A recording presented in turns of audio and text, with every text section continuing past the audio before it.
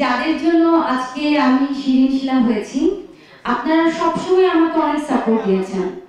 আমার চলচ্চিত্র ক্যারিয়ারের শুরু থেকে আজও পর্যন্ত আমি আপনাদের অনেক সহযোগিতা পেয়েছি, অনেক ভালোবাসা পেয়েছি। আজকে আমাদের শেষবাদী ছবি প্রেস কনফারেন্স আমি এখানে এসে জানতে পারলাম যে আমার এই চলচ্চিত্রটি একটা পলিটিক্সের শিকার হচ্ছে।